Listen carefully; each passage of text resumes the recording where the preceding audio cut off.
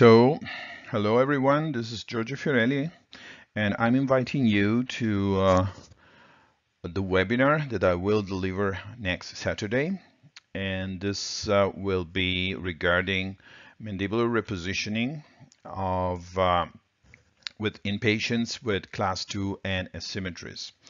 And during this webinars, we will have uh, five hours of theoretical background discussion and a lot of clinical cases.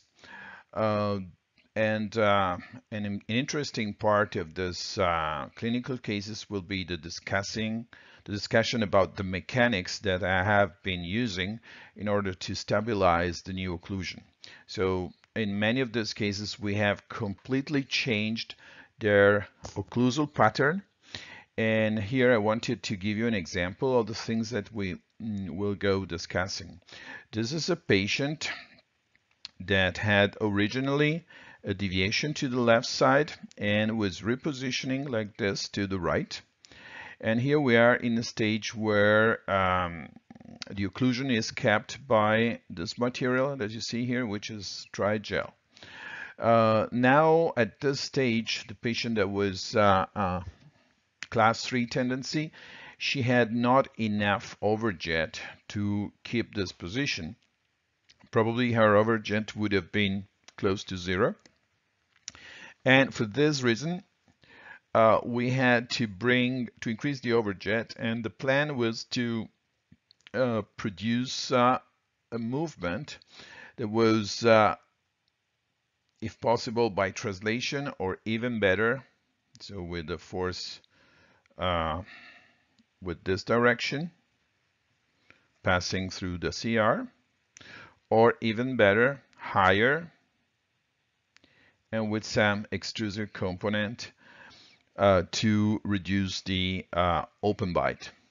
In order to get this force vector here, we have created a two vector mechanics, which is given by a cantilever producing uh, a force which is inclined probably around 45 degrees. So this line of action of the force is passing above the CR, creating a moment in this direction, plus this vertical elastic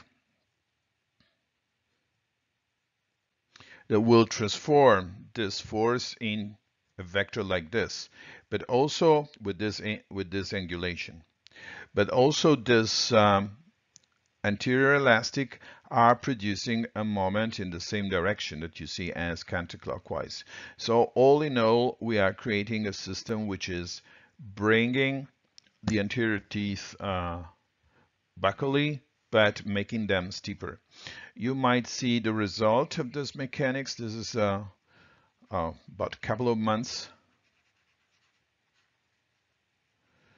between these two pictures here.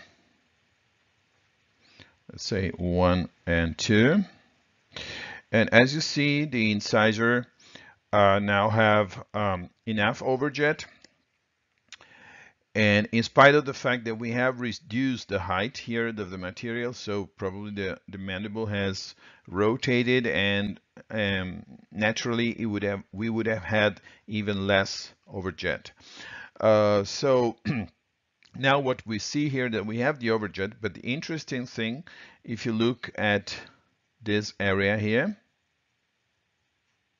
and this area here, that I really have the impression that the incisor are steeper than they were before. So my hope, this is to be confirmed with the x-ray, is that I've been bringing the apex more forward than what I did with the crowns. So thank you for your attention and I hope to uh, meet you at this webinar next Saturday. Thank you.